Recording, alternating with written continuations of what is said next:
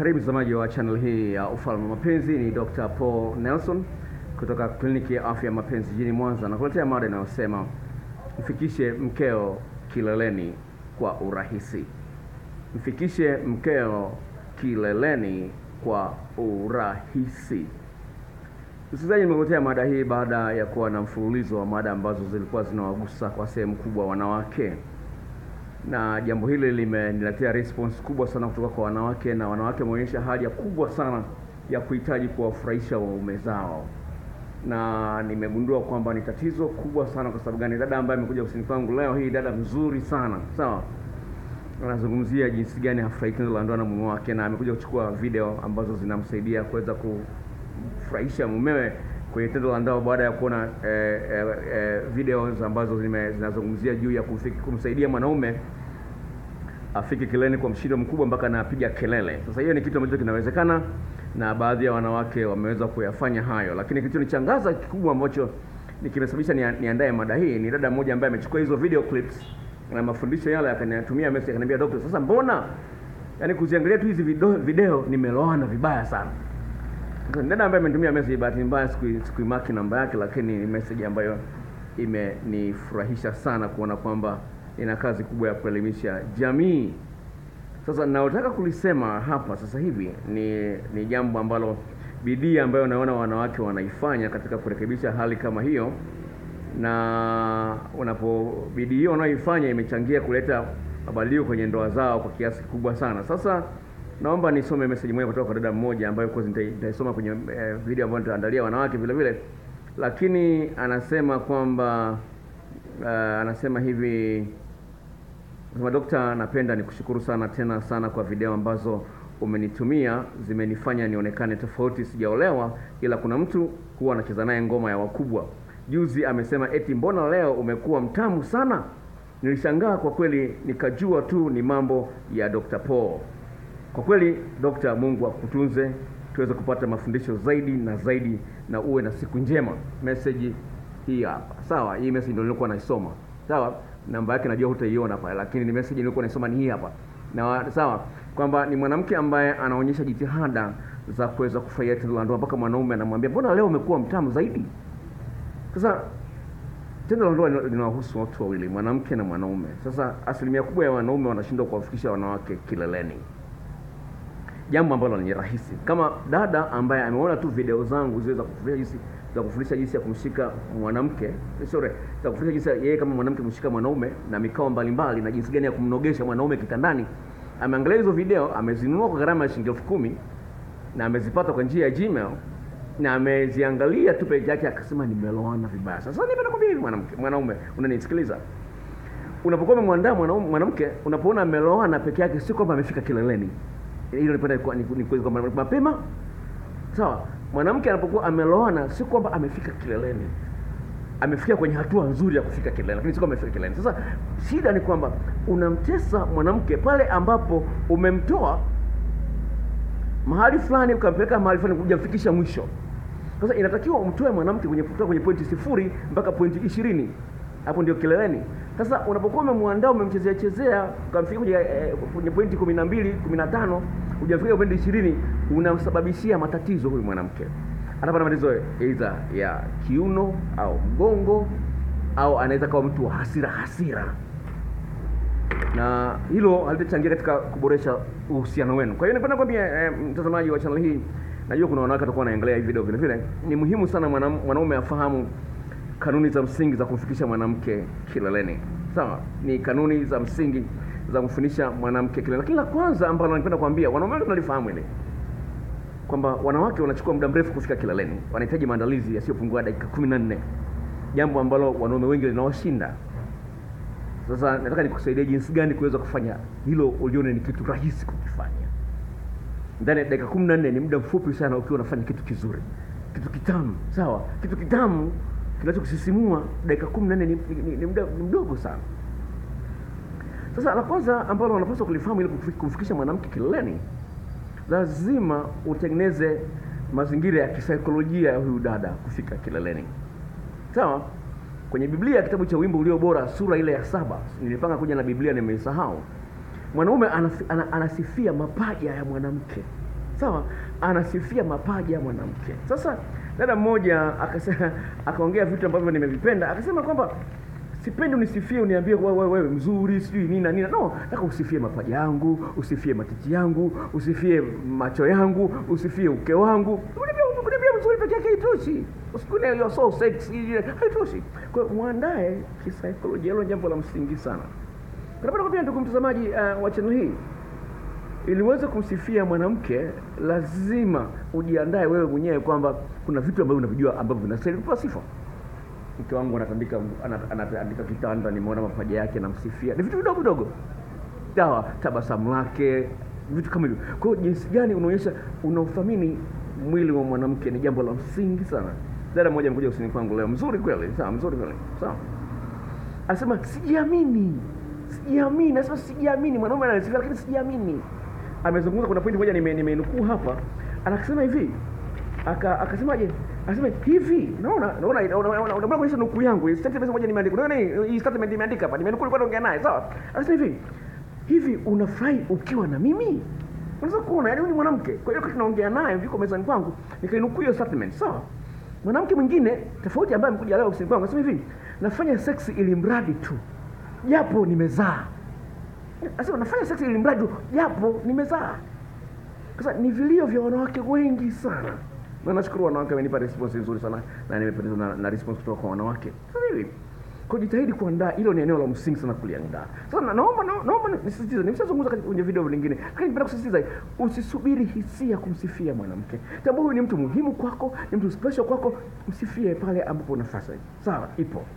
Angalia kama kama ni Mkristo, angalia Biblia, kitabu cha Wimbo Ulio Bora sura ya saba, utaweza kuona mahali pengine kitabu hicho cha wimbo ulio bora, mwanaume anamsifia mwanamke, anamwambia mashavu yako yako kama komamanga. Ushaliona komamanga? Zuri kule imekuya Tanga, wilaya ya Korogwe, ma, uh, makomamanga yapo kule kwa wingi kidogo. Sawa, hey, kuna jambo la msingi sana, jambo la msingi kumsifia Bwana. Sasa nilikuwa nilikuwa naongea na dada mmoja ambaye yuko Uingereza, sawa, ame- ametumia yala nimtumie video clips hizo na majarida tunaongea nasema dokta, nimekuwa na kuangalia sasa, ni, course ni Mtanzania lakini kwa Uingereza. Sasa nimekuwa na kuangalia, nimefurahi kweli, niko niko katika maandalizi ya kuingia ndani ya ndoa. Nataka huyu mwanaume yani huyu mwanaume yani nimpe ni, ni, ni, ni, ni, ni, nimpe raha ya kutosha. Unaweza kuwa dada mwenye umri miaka thelathini na tatu thelathini na nne sawa, ana, ana, anataka kujituma, nikamtania akatumia message inasemaje? Akasema naomba majarida yote, vitu vyote ulivyo navyo vizuri nipatie. Nikamwambia nitakupa vyote, lakini sitakupa mboo yangu. nitakupa vyote, lakini sitakupa mboo yangu. Akajibu akasema Nilie naye ana mboo nzuri kweli, nataka nitengenezee mazingira mazuri, nataka nitengenezee mazingira mazuri. No, ni hapo hapo akanipa mada. kwambia umenipa mada, utanipa mada ambayo nitaiandaa atawahusia wanawake kwamba tengenezea uume mazingira mazuri. Anyway, hiyo ni, mada inakuja kwa ajili ya wanawake, tuachane na hilo sawa. Sasa- hivi ni kwamba unapotaka kumfikisha mwanamke kileleni, lazima ufahamu kwamba huyu mwanamke ameumbwa na Mungu na maeneo yasiyopungua kumi na manne ambayo yana miisho mingi ya mishipa ya fahamu. Maeneo yale ndiyo ambayo ukifahamu jinsi ya, ya kuyasugua kwa usahihi, ya kuyabonyeza kwa usahihi, ya kuyapapasa kwa usahihi, ya kuyalamba kwa usahihi, ndiyo ambayo yatakuwa ni milango ya yeye kusikia hisia mpaka anafika kileleni, miguu inakosa nguvu, analegea kabisa. Hicho ndio kitu ambacho mwanaume unapaswa ukifanye. Kama umeangalia kwenye moja kati ya video zangu, sumbuki sumbuki ni ipi, nikazungumza nafanya mana, mapenzi na mwanamke, mwanamke analia, anapofika kileleni analia, miguu yangu, miguu yangu, miguu yangu, miguu yangu, hajui yani, anakuta eh, kuna tetemeko la kihisia ndani ya mwili wake mpaka miguu anashindwa kuelewa kinatokea nini kwenye miguu yake. Sasa mwanamke kama wewe atakusahau. Eh, hebu fikiria mwanamke kama wewe atakusahau, atakudharau wakati unampa kitu ambacho mwanaume mwingine hajawahi kumpa. Lazima tufahamu kwamba wanaume tunayo kazi. Sisi wanaume unaweza katia tu saa yote unaweza ukatombana mdogoti ule. Mdogoti unaweza kutombana, lakini mwanamke anahitaji maandalizi, ndivyo alivyoumbwa. Useme mke wangu anachelewa kufika kileleni. Ah, ah, hakuna kitu kama hicho. Sawa, wajanja wamegundua wamegundua njia ya kutengeneza hela, wakasema kuna tatizo la nguvu za kike. Tatizo la nguvu za kike. Hilo kitu hakipo, hicho kitu hakipo. Hakuna tatizo la nguvu za kike. Ni mwanaume ni mwanamke ambaye ana mwanaume ambaye hajui jinsi ya kumkoleza mwanamke, hajui njia sahihi za kumkoleza mwanamke. Na- napenda kuambia kwamba uh, nimeweza kuwasaidia kwa sehemu kubwa kwa video ambazo nimeandaa wanawake. Kaka mmoja kanipigia simu, ndio amesababisha ni- ni- niandae mada hii. Akasema, dokta, umeandalia wanawake video za kufundisha kuandaa wanaume, mbona sisi wanaume hujatuandalia? Hii ndio mada ambayo amesababisha kaka mmoja kutoka Dar es Salaam nipigia simu. Kwa hiyo bila shaka tulikuwa naangalia video hii na kupongeza kaka kwa kunipa mada ambayo of course sasa nizungumzie.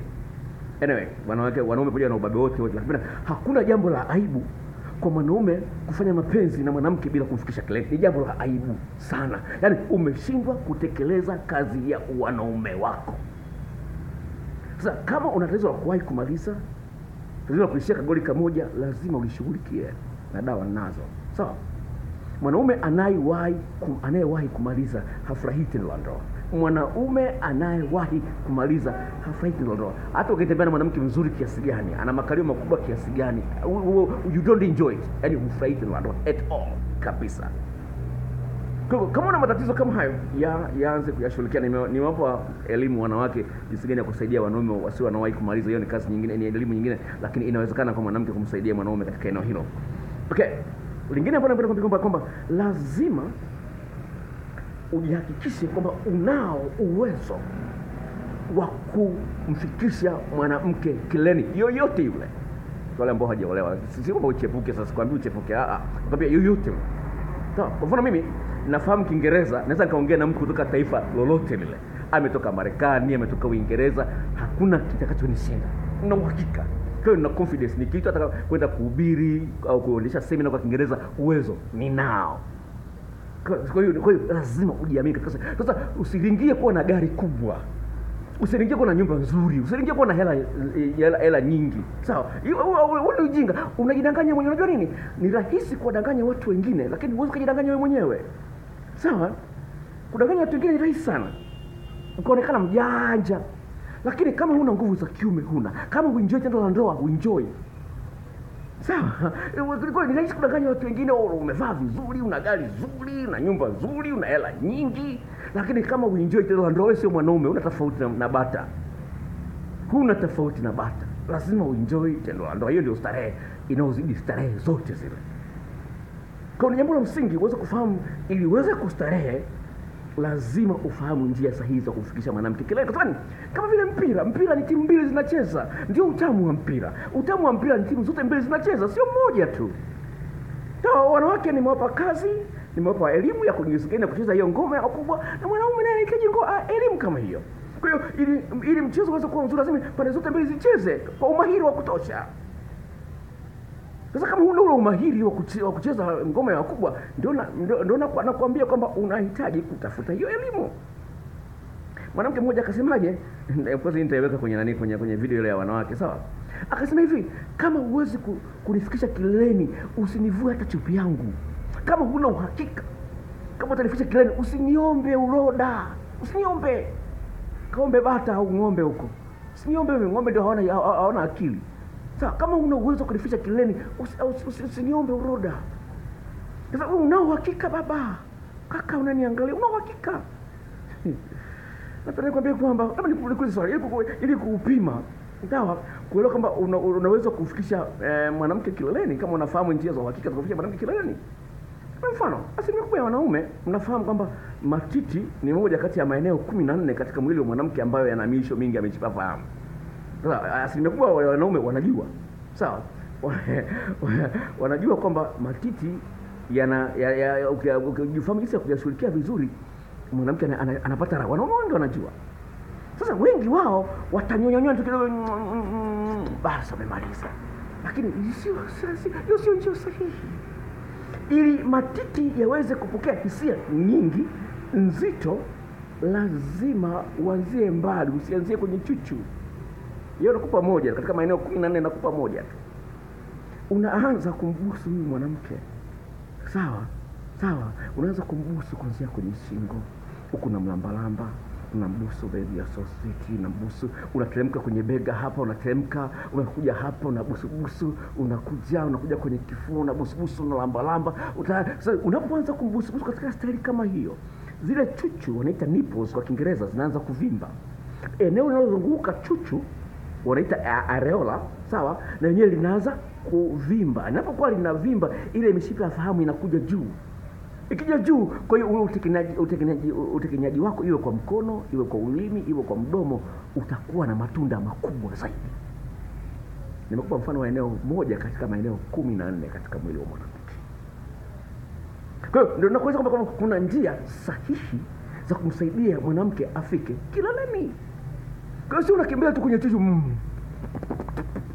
Wewe unajisumbua. Sasa tafiti zinaonyesha asilimia sitini na saba ya wanawake wanadanganya wanaume kwamba wamefika kileleni. Dada mmoja hiyo story nitaitoa kwenye kwenye mada ile ya, ya wanawake inasema kwamba uume unahitaji mazingira sahihi. Dada mmoja akasemaje? Eh, wanawake wengine eh, wanaongea maneno makali kweli. Dada akasemaje?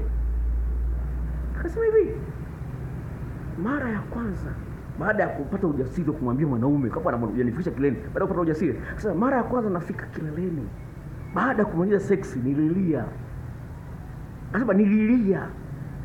Kwa nini nalilia? Akasema hivi kwani navumilia ujinga wote ule miaka yote hiyo? Nadanganya tu mwanaume nimefika kumbe sijafika. Kwa nini kwa nini navumilia ujinga wote? Akasema nililia. Nililia kwa sababu ya utamu niliupata kutoka huyu mwanaume, lakini kwa nini ni kwa nini haya yote sikuenjoy miaka yote iliyopita? Unaweza kuona jinsi gani wanawake wanaumia, lakini vilio vyao wameviweka ndani, na asilimia ya wanawake wanaochepuka wanaochepuka imekuwa kubwa mno. Kwa napenda kwambia ndugu ndugu ndugu mtazamaji wa channel hii, ni muhimu sana na kushauri sawa na kuomba, jitahidi sana kuweza kuwa na uhakika kwamba unao uwezo wa kumfikisha mwanaume kilele, sawa. Kama tatizo la kuwahi kumaliza liondoe, sawa. Sawa. Lazima uweze kutengeneza mazingira ya kwamba mpenzi wako anapaswa kufanya mapenzi na wewe akiwa na uhakika atafurahia, atafika kileleni. Sasa usi, kwa kuwa wewe ni mtu mzima tena mwanaume, unajiona unajua kila kitu, unaona aibu kubali kwamba una vitu ambavyo vijui itakuponza itakuponza sana. Sawa kwa kuwa ni mtu mzima kwa sababu wewe ni mwanaume unajua kama unajua kila kitu. Wakati huna uhakika itakuponza sana wala sio kidogo?